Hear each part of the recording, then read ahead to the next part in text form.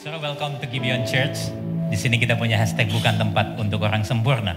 Tetapi kita semua disempurnakan oleh kuasa Injil dan kasih karunia Kristus. Kita sudah memasuki pertanyaan katekismus yang ke-8. Dan seperti biasa saya akan membaca pertanyaannya lalu kita bersama membaca jawaban dan ayat Alkitabnya. Apalagi yang Tuhan ciptakan? Tuhan menciptakan segala sesuatu dari ketiadaan dengan firman-Nya yang penuh kuasa. Dan semua ciptaannya sungguh amat baik. Semuanya berjalan di bawah pemerintahannya yang penuh kasih. Kejadian 1 ayat 31 dan kejadian 2 ayat yang pertama. Maka Allah melihat segala yang dijadikannya itu sungguh amat baik. Jadilah petang dan jadilah pagi. Itulah hari ke-6 Demikianlah diselesaikan langit dan bumi dan segala isinya. Silakan duduk. Saudara, pernahkah kita mengalami masa atau hari di mana hidup kita itu terasa begitu berat? Mungkin kita mengalami sakit yang rasanya kok enggak, selesai. Atau mungkin keadaan ekonomi dan bisnis kita sedang lesu atau mungkin kita mengalami bencana alam dan penderitaan yang datangnya bertubi-tubi. Saudara, hal ini tidak jarang membuat kita kemudian bertanya, mengapa Tuhan mengizinkan sakit? Mengapa Tuhan mengizinkan penderitaan? Lalu mengapa Tuhan tidak menghentikan bencana alam? Sudah begitu banyak pertanyaan mungkin di dalam kehidupan kita. Dan semua pertanyaan ini akhirnya sering kali mengganggu sukacita kita. Bahkan tidak jarang kita kemudian menjadi kecewa kepada Tuhan. Kalau kita melihat realitas ini dan kita kemudian kembali kepada kisah penciptaan, mungkin ada di antara kita yang bertanya, bukankah Tuhan menciptakan segala sesuatu dengan sungguh amat baik? Lalu bagaimana hal-hal yang buruk itu bisa terjadi di dalam ciptaan Tuhan yang sungguh amat baik ini? Sudah betul memang firman Tuhan mengatakan bahwa Tuhan menciptakan semuanya dengan sungguh amat baik. Bahkan bisa dikatakan Tuhan menciptakan semuanya dengan sempurna. Tetapi manusia sebagai ciptaan memberontak kepada Tuhan. Mereka hidup mengabaikan perintah Tuhan yang akibatnya kematian dan kerusakan seluruh ciptaan. Tetapi puji Tuhan bahwa Allah tetap berdaulat, Dia tetap baik, kalau kita membaca kitab kejadian pasal yang pertama dan kedua, berulang kali kita di sana menjumpai Allah sendiri yang mengucapkan kata baik di dalam ciptaannya.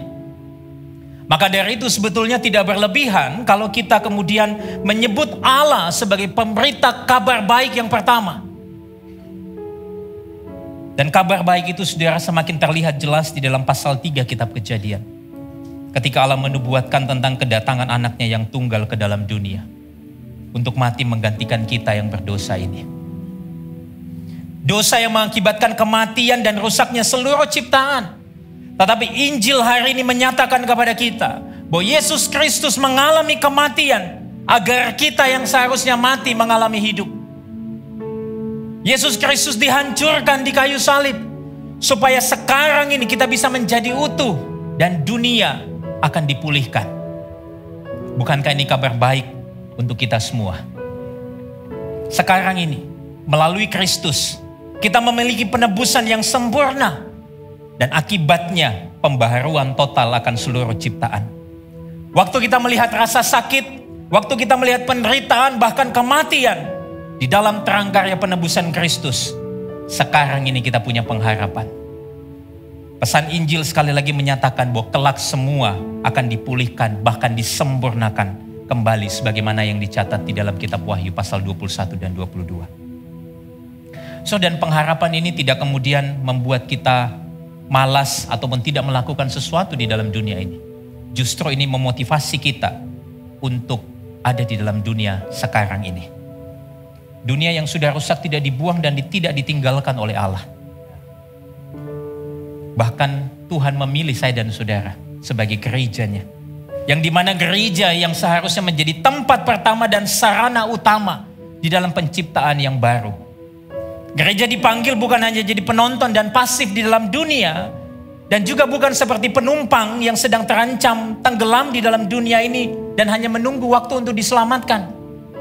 Gereja adalah komunitas orang-orang yang diutus Allah untuk berdampak bagi dunia saat ini dengan memberitakan Injil yang sanggup menebus dan memperbarui hidup setiap umat manusia. Saudara, mari saya mengajak kita boleh berdiri bersama-sama. Kita datang kepada Tuhan di dalam pertobatan kita. Seringkali kita justru hidup tidak berbeda dengan dunia ini. Padahal kita sudah mengalami kasih karunia di dalam Kristus. Kita sering kali justru gagal memberitakan dan menghidupi Injil dalam keseharian kita. Sehingga orang-orang di sekitar kita tidak melihat kuasa Injil yang sanggup mengubahkan dan memperbaharui. Mari saudara kita bersama datang di dalam doa pengakuan dosa kita.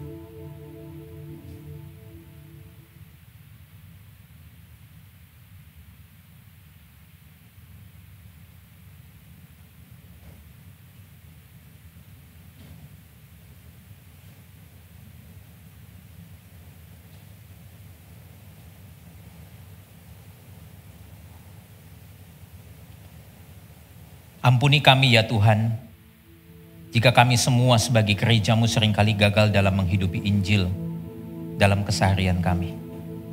Dan kami sungguh berterima kasih karena di dalam kegagalan kami, Engkau tidak pernah menyerah dan membuang kami.